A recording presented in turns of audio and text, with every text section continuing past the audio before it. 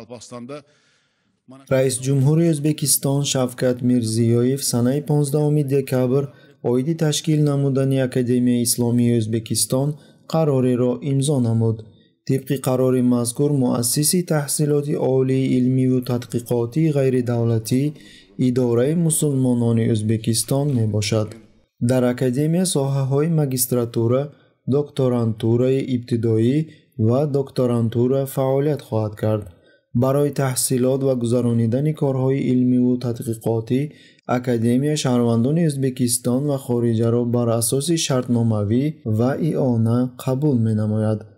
Барои тадқиқотчиёни мустақил таҳсилоти фосилавӣ ва гузаронидани тадқиқотҳои мустақилона имконият фароҳам овардан ба нақша гирифта шудааст.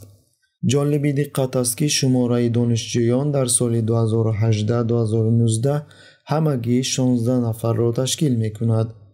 Ғайр аз ин мирзиёев қайд намуд ки дар академияи исломи мӯътадил яъне тариқати нақшбандия ва илми калом омӯзонида мешавад.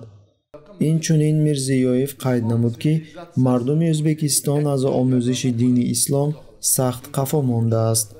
Хафа нашавед вале мо аз фаҳмидани ислом қафо мондаем.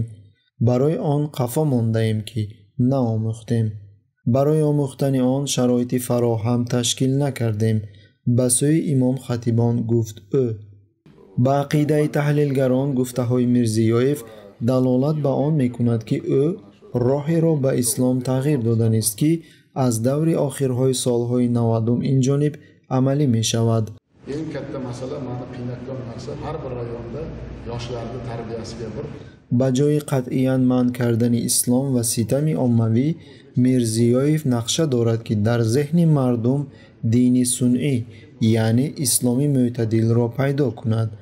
Дар таҷриба бошад барои ҳар як кирду кори номатлубашон динро дастак намудан мебошад. Масъулун ан раъияти